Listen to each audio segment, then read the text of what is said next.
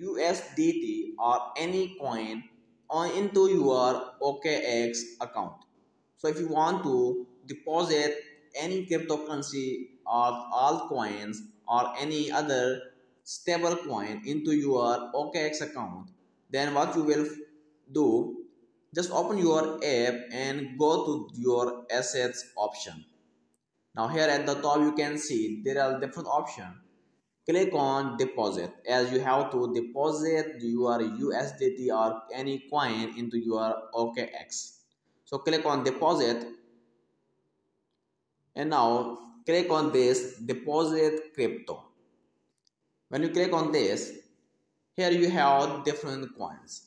Now select that coin that you want to deposit into your OKX account or that you want to transfer or withdraw from any other wallet or exchange. So let's suppose I will click on this USDT. So when you click on this, just select the chain that you want to select.